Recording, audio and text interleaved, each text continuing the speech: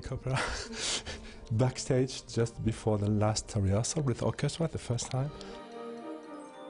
And these very costumes are very, really dear to my heart this time because it's a production. It's Capuleti, Montecchi, Romeo and Juliet. So uh, except Juliet, no, no girls in the partition. But in the libretto, it's written that during the the wedding they wanted gorgeous ladies during the scene. We did exactly what they uh, have to do tonight. Means uh, going up and down, very in a hurry frightened by the battle and the fight with their um, dress, but uh, not really uh, wearing them perfectly because it's a panic. For the costume, I he wanted something timeless, something which might be some crazy party goer from nowadays, but period historic costumes. So I asked the opera to go in the, to the, the fundus in the stock, the archives, and all these fabrics on the costume, or these, that, these are uh, fabric and silk are, are, are, used to work very expensive in uh, my couture days.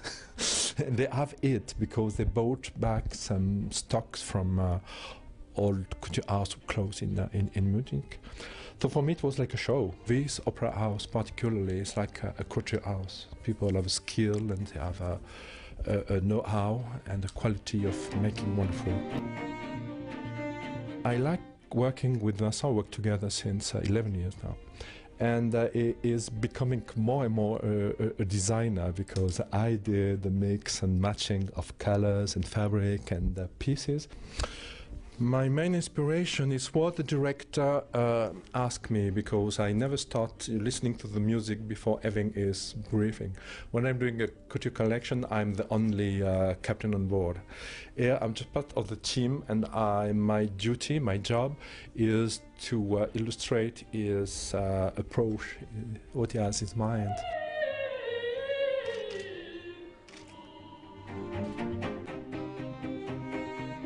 I think that she has to follow her own inspiration. I think that nowadays fashion is no more um, addicted. I think that it's a, a way of um, expressing your individuality, your own personality.